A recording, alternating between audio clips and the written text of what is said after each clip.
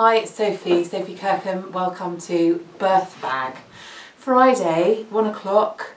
Um, so this is going to be kind of like, hopefully, sort of uninterrupted teaching, showing, sharing session, um, talking about what to put in a birth bag. So you can watch this now, you can watch it later, you can share it. There's a share button, share. Um, you can invite grandparents to be to watch it, pregnant people, dads to be, partners to be, parents, everybody um, to watch. And let us know, can you hear me okay? That's important. Um, let me know you can hear. Um, and are you pregnant? I am. I'm probably one of the only people doing Facebook hypnobirthing live stuff who's preggers. I think I'm probably one of a handful at the most. So I'm kind of um, hoping to get my birth bag ready, but also, you know, kind of share the usefulness of it with you and um, practicality. So let's have a think.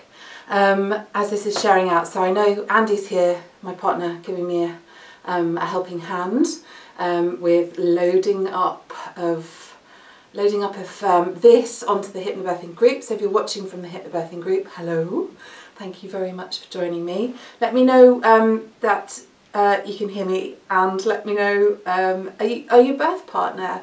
Are you a doula? Are you going to be a grandparent? Um, is this your first? What are you having? And um, Andy, you can relay any questions via all the stuff we've got set up behind. So we've got a few prompts and things so I can see your stuff. I'm going to try and keep this to about half an hour. I haven't practiced it, but I've been going over and over in my head what I think is really useful. Um, so as you join me, remember that this is um, about what to put in a birth bag. Okay, so I've reframed it from hospital bag. I don't want to call it the hospital bag because I don't see birth as an illness that requires going to hospital as a patient. I see us as strong women at the peak of wellness, bringing forth new life. And uh, don't get me wrong, okay, this pregnancy has been really tough. I don't feel um, at the peak of wellness. I feel at the peak of bilious and uh, sickiness a lot of the time. But I don't see myself as a patient requiring help. Um, and so the plan is um, to have our kid here at home. But we've got a bag ready just in case. So that's what all this stuff I'm going to show you today is all about. And it's not too much stuff. It should all fit into this small roller suitcase, which is practical, okay? You don't want a load of bags that you have to carry with handles when you're moving from your car or a taxi to a birth centre or maybe even up to a, a labour ward, okay? You want something you can roll and stand still um, as the birth partner because it's obviously not the birthing woman who's going to be um, carrying the suitcase, hopefully. Um, and then a sort of birth partner bag as well, which is ostensibly, I'm not going to show you what's in here, this is just common sense. This is a change of clothes, toothbrush, um, change of socks as well, because you might be taking your shoes off in the birthing room and just wandering around in your socks, because that'd be nice, especially if the woman's getting on the floor on hands and knees. She doesn't want to put her hands where you've been treading your shoes. And I'm also going to put the food in here. Um, food and drink. Now, I don't know if any of you are labouring under the misapprehension that you shouldn't eat or drink in labour. But let's just, let's just bust that myth right now, okay? It's possibly it could be anything from like four to eight thousand calories that you're burning up during your labour. Okay, so think of that as half a marathon or plus. Luckily your surges come in waves, whereas a marathon you have to constantly run, right? So what works really well? Okay, so somebody's already asked this morning about Lucozade and energy sweets. Do you drink Lucozade normally? Because I don't. I don't want to upset the people at Lucozade either. Because um, I know that um, diabetics of a certain generation use Lucozade a lot, but um, personally I don't, I, like, why? Um, so let's think about things that nourish your system. Every mouthful, okay, there's got to be something that's nourishing your system. So let's get food and drink out of the way straight away. I can go in birth partner bag. Um, So, oh, phone's ringing. Soup, okay, thermos. You're familiar with these? So I don't know where you are watching this in the world or what your season is. Here in the UK it's trying to be summer. Um, it's pretty hot today actually. Um, I, when I was birthing my son eight years ago, I wanted pea and ham soup. So we put it in a thermos and we took it with us. I'd laboured at home for most of my labour, so this was just like a top up. But it's something the birth partner and you can have, and it's hot and it's, you know, it's just easy. Make sure you put the lid on a thermos properly, okay? Because we left like a little trail of soup through um, the hospital. Okay, so soup. Why soup? Well, you might not be asking why, but I'm going to say why I think it's really useful. It's really nourishing and you don't have to chew it. So imagine your surges coming in waves and then you've got your little rest and then you've got your wave and then your rest. In your resting time, however long or short a time that is, it's not super easy to chew stuff, okay? I always remember Abby and her Haribo. I talk about this in class. Um, she wanted some Haribo and she kind of got the taste of it, but there wasn't time to chew them in between surges. So I had to put my hand there so she could just spit them out. Um, Haribo, yes, um, chocolate um, is also very, very important. I think good quality chocolate, um, there's plenty out there on the market. Um, I've also got energy balls. I picked up a couple today. I'm not like placing products, but I'm just looking at stuff that I think is really, really useful for you and your birth partner, okay? Birth partners, you need to stay hydrated and eat as well. So stuff that's high in protein um, and not like just a sugary chocolate bar. Chocolate's good, yes, don't get me wrong, but you want something that's going to nourish your system, okay? So think of mother, baby, womb, working together in harmony, energised. Um, Andy, I'll go to some questions after I've done the food and drink bit. Sorry, got something fluffy on my lip. Um, so as labour progresses, you go from like the chewier food into the liquid food because it's easier to swallow. Um, staying hydrated is really important. It's really important. It's really important to stay hydrated. You must drink. So what sort of drinks? Coconut water, okay? Do you like it? Not particularly, or you love it? Great. Well, have some. and take some straws with you so that it's easier for you to kind of suck on a straw than it is to try and pick up a cup and suck it, okay? So your partner, your birth partner, your midwife can pass you a drink with your straw. So just have a handful of straws. Even better, oh, I've missed, I've forgotten to put it on, but a drink, sports drink bottle. So like um, kind of bottle that you would take um, on a workout so that it's got a straw on the top and you can just sup it. Okay, so in those go. I've also got some green juice. So if you've got, um, if you're a juicing person, make yourself up a, a green leaf smoothie um, and add in water. It's uh, reacting with my system, but um, I picked up this one today, which is an innocent smoothie which is apple and cucumber and celery and spinach. Yum.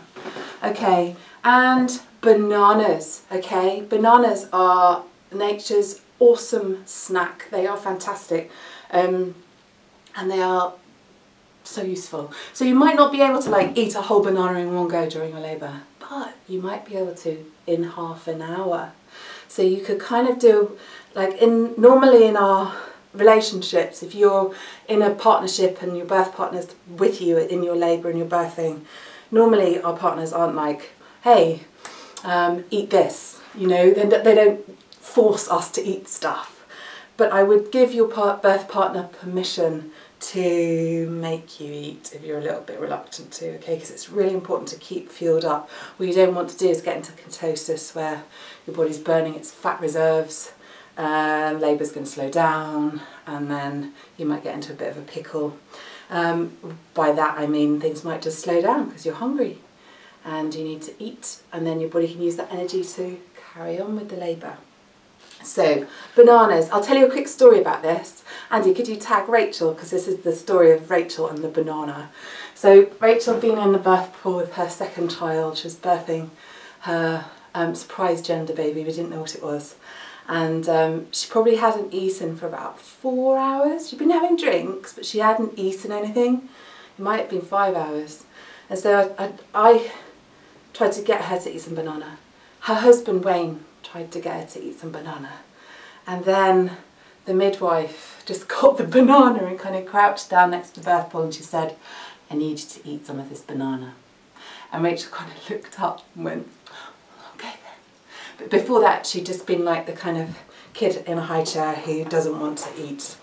And um, yeah, just getting the cat out. Brilliant. Go on, cat. Shoo! It's all go in the house of cats. Um, so the story of Rachel eating the banana, we've missed the climax, we're letting the cat out. Right, so she eats just a little bit of banana and I'm not kidding you, in about a minute after that, the most almighty surge occurred. And it was like, ha ha, you see, the instant power of the banana. It's such a useful snack. Take a bunch with you. Okay, what else? Um, honey and a spoon. Okay, so maybe in later labour, you're not hungry.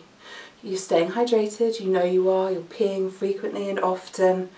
Have a spoonful of honey just to give you a bit of a boost. And I've treated myself to some very posh honey for our birth bag. Um, the birth bag is a good place to have everything if you're at home. If you're planning to birth at home, it's good to have everything in one spot. So I think ostensibly that's what our bag is for. It's about us having everything in one place. That's um, Oh, thanks, John, for telling me I look fab. I feel quite good today. Sonia, hello. Um, oh, 34 weeks, full-time mum. Good on you, Sonia. Amy, looking forward to watching later. Let me know how you get on. Protein balls, coconut water, okay with gestational diabetes? Well, there's a good question. Right. Are they? Don't know. Who asked that question? Don't know. Um, um, gestational diabetes, that's a really interesting one. We can segue into colostrum Alison. harvesting. Alison, I don't know. I don't know how severe the gestational diabetes is and I can't offer you medical advice, but I do know you need to eat during your labour. And so whatever the, the diet is that works well for you and your GD, your gestational diabetes, then you carry on with that although you know labour's labour and if you really fancy something check with your midwife but she might be like yeah go on have a bounce ball. Um, I've got here some teeny tiny syringes. This is one milliliter you can pick these up from the pharmacy from the chemist for next to nothing. You could say look can I have 10 one mil syringes? And the pharmacist might look at you like you're a bit dodgy but actually you're not dodgy, um, you could just say, well, I'm going to use them for colostrum harvesting. So colostrum is the first, um, Andy, could you chuck over a knitted boob? We'll get some of Peggy's uh, knitted boobs out. Um, it's the first super duper amazing stuff that your boobs make. Ta-da! Um, this is made by my mum-in-law Peggy, she knitted me a whole bunch of them. All different shapes, sizes and colours, just like boobs are. And the colostrum you can harvest through hand expression. So just look up on YouTube some really, really good um, hand expression videos and then you can, pro probably with the help of a friend or a birth partner, you can collect the little drops into the syringe or if you've got a bit of a flow you can collect it into like a little feeding cup or something and then take it up, put it into a box, put it in the freezer and save it. So Alison, if nobody's talked to you about um, harvesting colostrum in readiness for when your baby comes, now's the time. Find out who the, um, the midwife is at your chosen birthing place, who's the specialist in infant feeding. Meet her now before your baby comes and have a little chat about what would work well, okay? Um, so that's drink for the baby. Something I haven't put in the food bag is rehydration drink. Okay, so I've got here something from Arbonne which is called Phyto Sport. It's a complete rehydration drink and it's tropical berry flavour. Um, it's really useful to stay hydrated.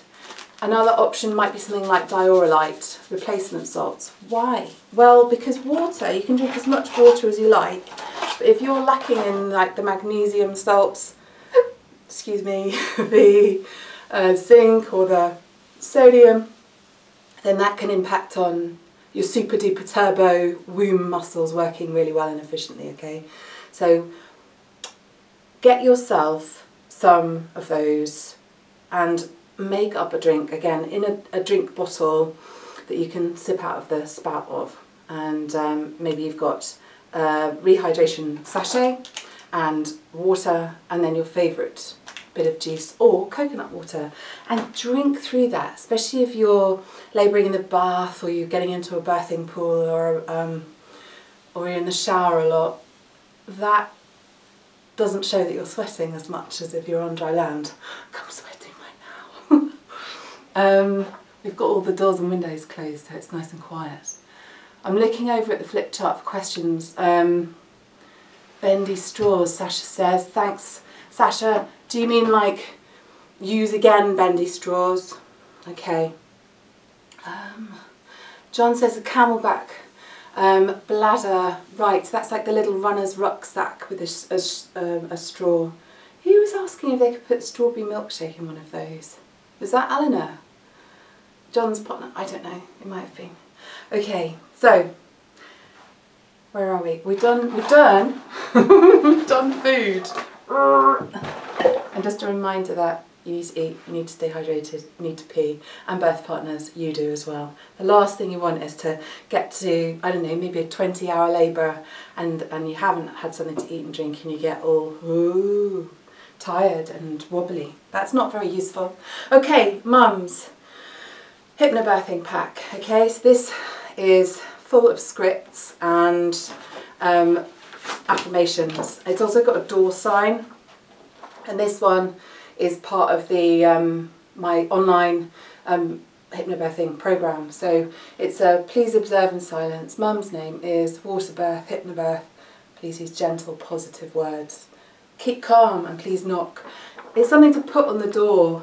Um, back in January I was at a birth and we didn't have a door sign and we'd had some really helpful caregivers come in but they were on a different level and vibe to the way we were. We were kind of really dozing and um, and they weren't.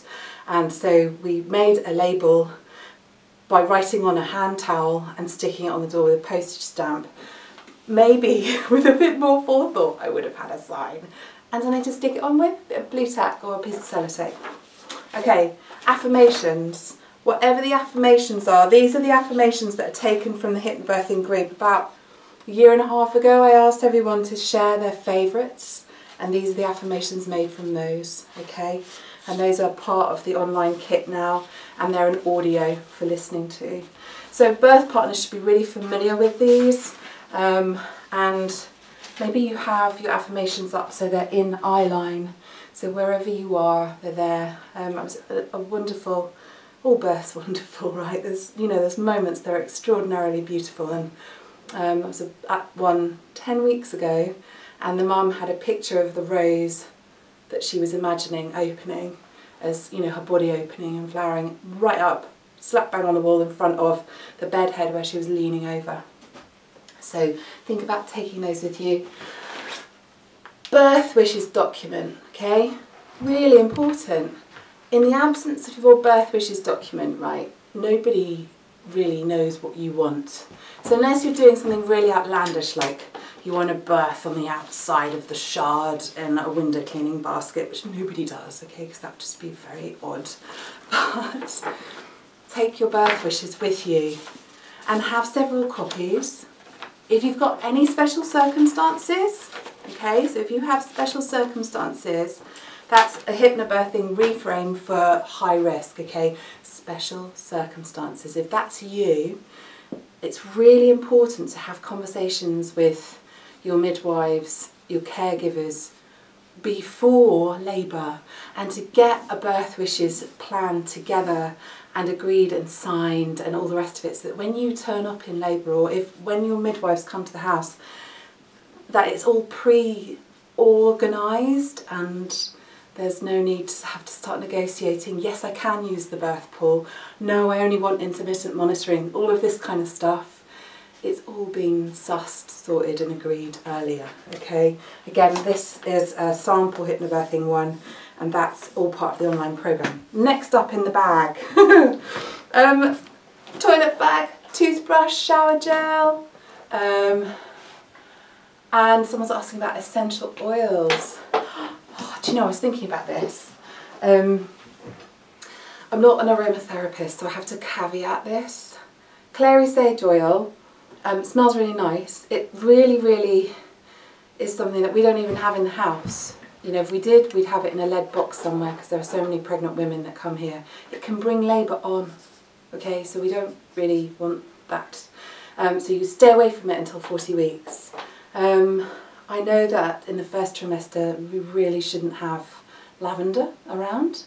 Um, but that's kind of, that's those are the boundaries of my understanding with it. Um, and I, I love the smell of jasmine oil. I love frankincense as well.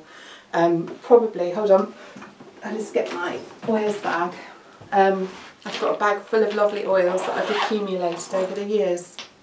And probably it's enough sometimes with a super duper pregnant nose to just have the bottle and the lid off near you. That's enough the air will mix and a few molecules of that essential oil will get to you. And if it's enough and you don't want it anymore, you just put the lid on it and you put it away, okay? If you're um, particularly keen on a particular smell and it works really well for you, why don't you use that? I think that's probably a good bit of advice. Um, maybe we should do an aromatherapy Facebook Live. So if anybody watching is a qualified aromatherapist and a birth worker, um, then get in touch and we'll set one up because I'd really like to do that. Um, I'm struggling slightly with this Facebook Live because I can't see anything. I haven't got a screen to look at, so it's completely blank for me. And I, every other one I've done, I've been able to see myself. So if I'm not looking at you, I'm really sorry. Okay, what else have I got? In here, I've got a wrap. This is a baby wearing wrap. I think it's a Moby. There are loads and loads of different kinds uh, might be a maybe. It's basically yards and yards of fabric that you use for wearing a baby. However, you could use it for rebozo, for lifting the bump, for helping women in their birthing to be more comfortable. It's called Rebozo, R-E-B-O-Z-O. If you want to know more about Rebozo, can you comment the word Rebozo in the comments and we will send you information because we know some really good practitioners and I think um, there might be some really good online stuff that we can share with you.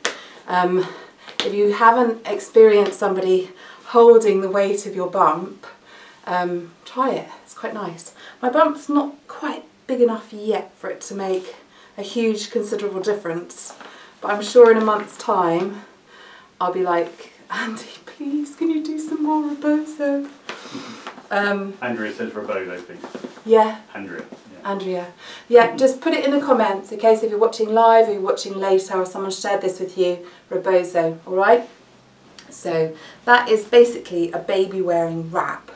Um, you can buy beautiful hand woven baby uh, Rebozos, but I, I find those work really well. Okay. Hmm. Okay. What else have I got in my bag of treasures? not quite in it but would be, a mirror and a torch. Any ideas? Why? Why have I got a mirror and a torch? Does anybody know? Well, um, maybe put something in the comments which I can't see. Is anybody having a guess? Why would I have a mirror and a torch in my bag? Um, it's not, like my son said when I took him to have a look around Lewisham Birth Centre near us, the torch, um, just in case the baby rolled under the bed so you could find them. He was five at the time. I was like, no, that's not it. Um, I'll tell you. It's in case you want to have a look uh, maybe the baby coming out or something, but you don't want to disturb the woman and it's dark.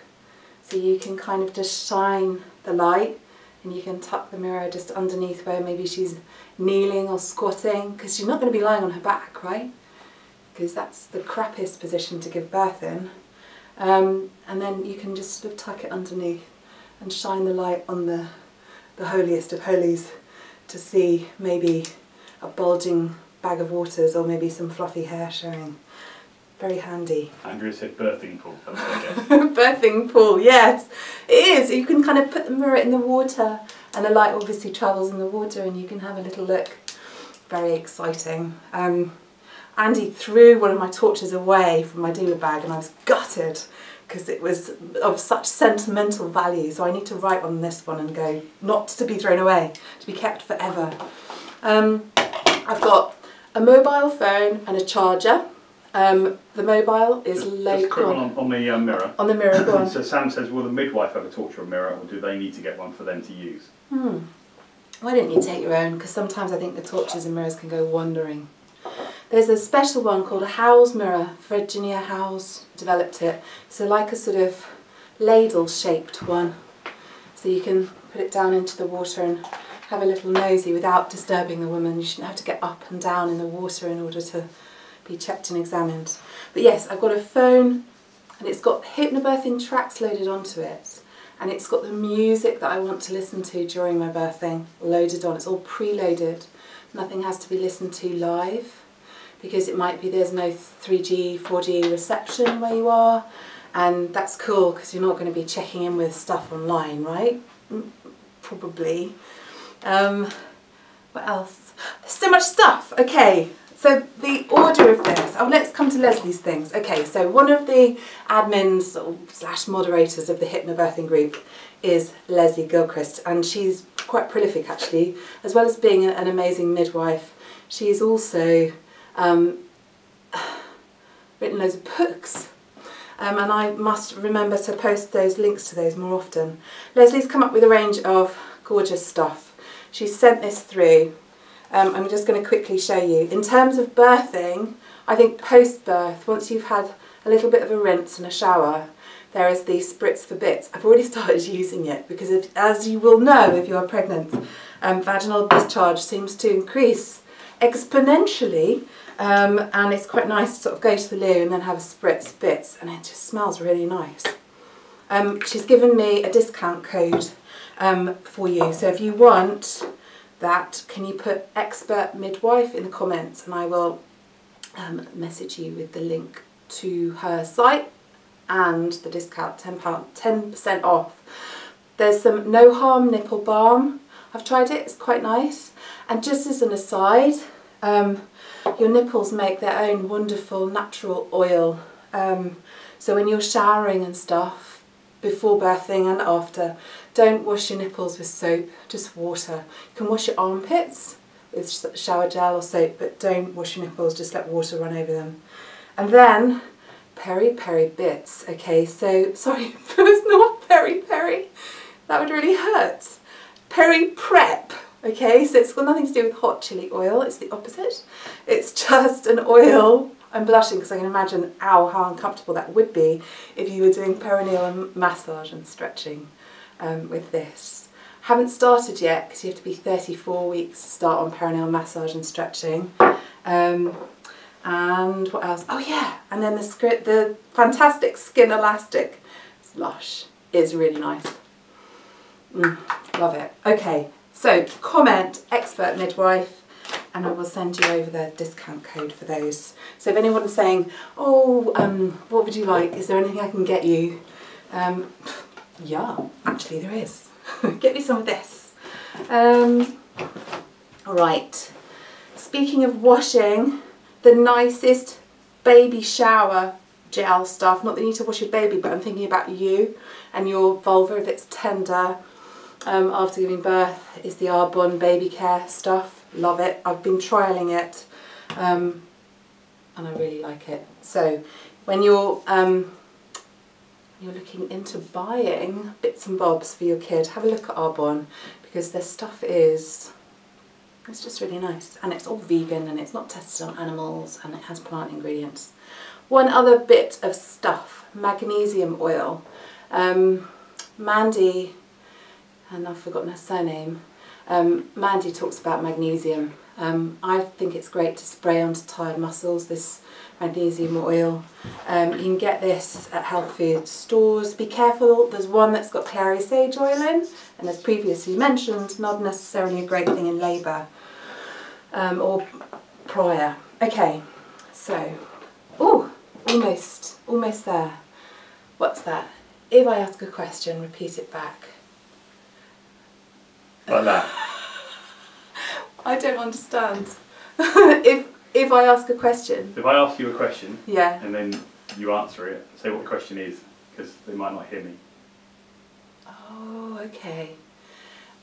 Uh, in from the questions that they're posting. Yeah. Okay. Is there anything specific for a home birth bag? Is the question that's come up. Alice, this is our home birth bag, and I've got some absolute treasure here. So you've seen the knitted boob made by my mummy-in-law Peggy, who can make literally knit anything. I've got a knitted uterus with a baby, an umbilical cord and placenta. I've got this knitted womb with fallopian tubes and ovaries and a vagina, not very stretchy vagina, um, and knitted vulva. And the story goes that she was a bit shy about knitting it, she didn't tell her sisters. But it's very, she's very inclusive. She's done me some with sort of blonde hair. She's done me some with dark hair, and they've even got a dick clitoris there too. Um, for home birth, um, Alice, I've got some in my treasure. Uh, you don't need. This isn't just for home birth. This is for any birth. These are handmade cord ties. So they are crocheted, made out of cotton, sometimes silk, um, and they're instead of keeping the what I like to call the plastic keep it fresh clip. Okay, so when they um, actually Andy, could you pass over the knitted womb because I can show them that. So when the um, when your baby's born, this is a hugely scaled down baby. This baby is not the size that yours will be. so let's have a very rapid birth. Woo! Okay, and then the placenta is waiting to come out as the baby's heart and lungs take over and and then the placenta is birthed and you can catch it in a bowl or something. Um, you don't have to cut and clamp straight away unless there's some kind of really extreme reason. Um, you can birth the placenta and then cut and clamp. Um, clamping is done with these, like, you know in the kitchen you have some little plastic clips that you'll keep maybe, I don't know, coffee bags or something fresh with. Um, that's the kind of thing they use against the baby and I, I just think that's really harsh on a lovely little soft tummy. So um, they can clamp them and then you can put your little cord tie round, knot it off and take the plastic clip off. Do that a couple of hours after birth or something. And hearsay has it that um, the cords dry up quicker and fall off quicker, but I've got no actual proper study to say that that's a, a real deal thing, okay? It doesn't have to be sterile, it just has to be clean, the cord tie. I'm putting the baby back in the womb, tucking, tucking the chin under, so that's good. Right, and we've chosen our cord tie and um, it's wrapped up on the mantelpiece ready. Um, the other thing I've got are these two pads. So Peggy read about breast pads. Some people's boobs leak a bit of milk. Um, I didn't have that with my son, but that's probably because he had the worst tongue tie I've ever seen and fed constantly, so there was no leaking. Um, but if you wear them in your top, um, then they smell of you and you can put them near your baby when your baby's having a little snuggle somewhere. And so those I've got. And Alice, I'm kind of just going to finish with the last things that Peggy's made. So she made a batch of these. These are, um, they discovered really good for the little premies um, in the neonatal units, the early born kids. Um, they like them again, stuff it down your top so it smells of you, just in case your kid goes off to NICU and they've got something that smells of you and they, their little hands like to grab hold of these. So we donated a load to Lewisham Hospital, and then I was like, oh no, I didn't keep any for our baby. So Peggy's made us some more. And yeah, she even made this bowl. Peggy, you're amazing, really. I had no idea where to begin with that. All right, from that kind of thing to Tena Lady incontinence pads, okay? No segue, guys, but I think these are really clever. So you probably will have bought maternity pads, which actually I don't think are as good. Um, maternity pads, they're not as um, ergonomic, they're not shaped to fit our, our sort of vulva and our bum as well as say these, you know, and these capture everything.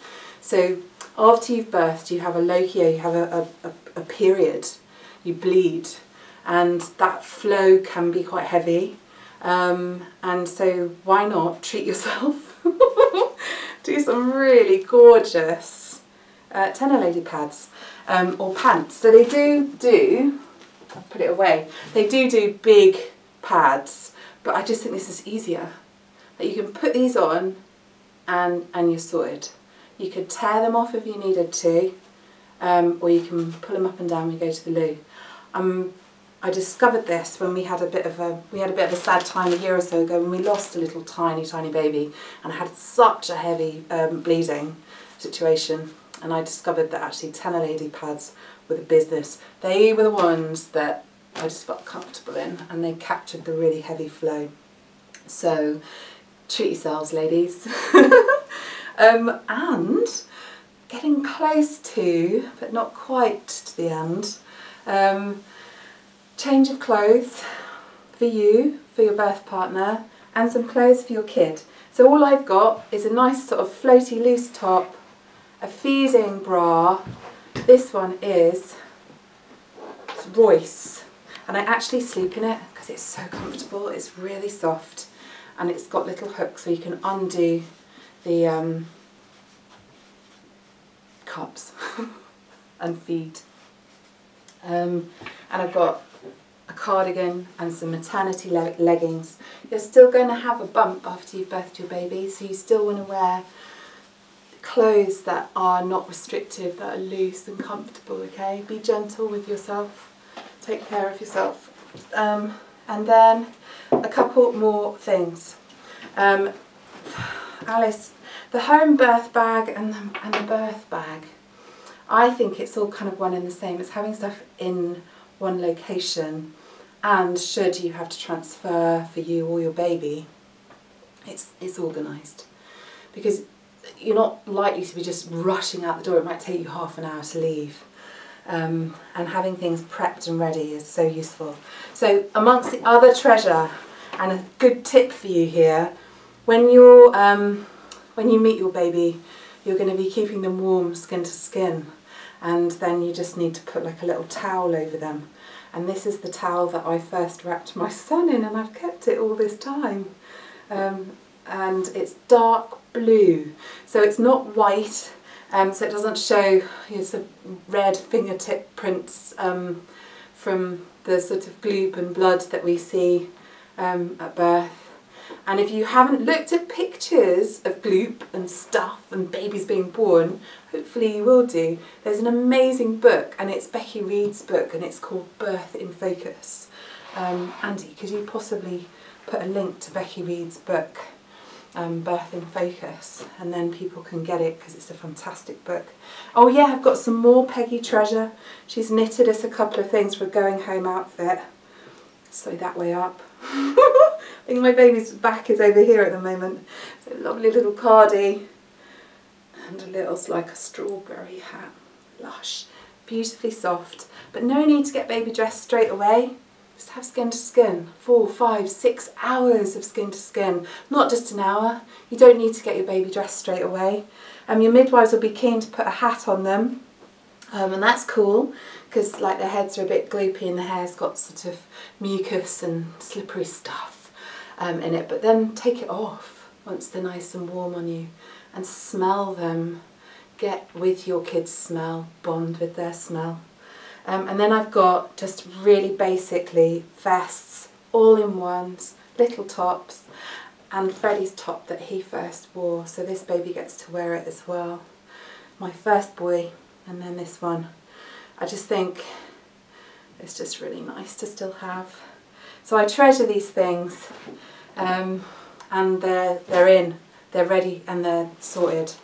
The only other things, oh Peggy's knitted us a gorgeous blanket, so we've got that. We've got an inflatable pillow and got a couple of flannels. Well, a flannel and a, a clinical gauze swab or something to support the perineum and a flannel. So right, Alice at home, um, although the midwives will be bringing everything that they would have at the birth centre to the home, right? They load in with all their gear. Um, having a stack of flannels, this one's quite rough, I think it needs a, a wash and should be maybe put in the tumble dryer to fluff it up because it's pretty rough. But this gauze is really soft. And the last birth I was at, the midwife, um, who was a blessing, she was just so incredibly talented and wonderfully um, respectful and unobtrusive. She helped support the baby's head as it was being born and um, she just used a bit of gauze pressed gently against perineum um, and just mum just guided and worked with her body to bring the baby out. Very, very stark contrast to that lying on your back with your legs up, pushing, keep it coming malarkey. That's my room 101 right there. Um, but that depends, you know, sometimes, sometimes they have to shove. Ah, oh, the birth ball. My helpful man has reminded me about the birth ball. So, this is a very small birth ball. This is like, for someone who's about five foot, I don't know what that is in metres, 140, 150, something like that. This is tiny. I'm five foot nine um, and I've got a 75 centimetre ball. But if you want a ball because you like sitting on them and they're comfortable, you can take yours with you. You don't have to take it in inflated. Again, the reason that we have a roller seat case is so that you can easily guide yourself along with it and you're not um, cumbered, encum encumbered with stuff. All right, so check with your birth centre, have they got birth balls? Have they got cubs, um, which is about, oh, what does it stand for? I can't remember. Comfortable upright birthing, there you go. Um, just find out. If you haven't checked out your birth centre, go and check it out. Sometimes they say, no, you can't come, we don't do tours. But you really do need to go and check it out. So just even if you can just get up to the doors and then give the midwife something lovely, um, then do so. Practice your route. Lesley says hi. She's not long joined. Hi Lesley, I've been through your kit. I introduced it and I've offered everybody, um, if they write in the comments, um, expert midwife, I'll send them the link and the discount code. Um, right, what else? Um, I'm really enjoying this, but I realise that I have to keep to time. I've gone over 15 minutes. The other bits and bobs that I've got, an eye mask, where's that gone? An eye mask, and for the purposes of this, headphones, um, but I can't um, source any at the moment. Over ear and in ear, okay? So take both. It doesn't matter if it's your kids over ear or, um, no thanks Andy love, um, or whatever, but have them. I got a birth report this week, which I need to get permission to share, but I'm happy to quote a bit. And um, her experience was that she wished she'd had her headphones in when she was going from the car to the birth centre because there were people stood outside the hospital smoking and um, and they, they said a few things that just really cheesed her off in her primal birthing states. Um, so headphones for listening to your relaxation music or listening to your hypnosis.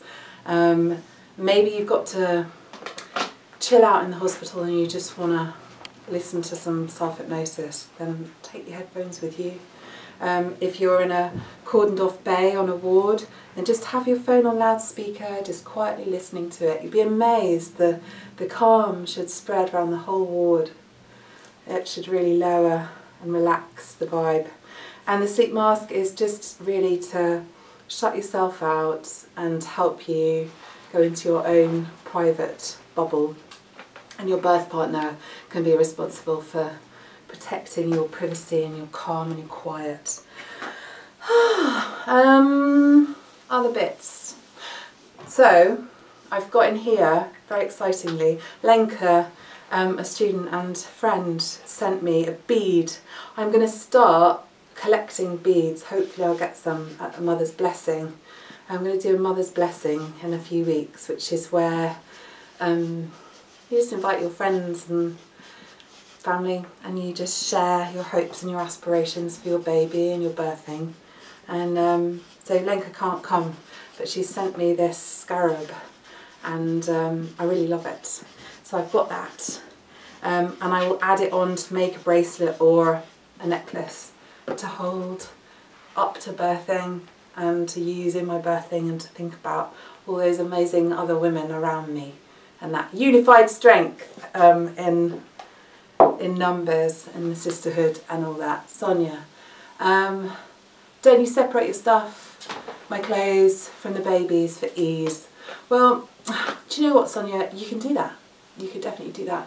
Um, I'm gonna give Andy the responsibility of repacking the bag because he's going to be the one going in and out of it. I'm going to be busy labouring.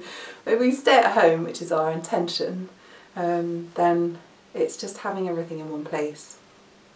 Um, I don't think there's too much stuff. What about the birth partner? What to take? Overnight bag, food, toilet bag. Um, and he's just pointing out your questions to me because I've forgotten to have a means of reading the comments. Um, and just, you know, you're never going to be too far away that you can't go and pick stuff up if you need it. Uh, food, drinks, change of clothes, all of that good stuff. Excuse me, pregnant, got a bit of uh, acid going on. Mm. What else? I think that's nearly it, you know. Mm. Perhaps have a stash of cash if you've got your own car.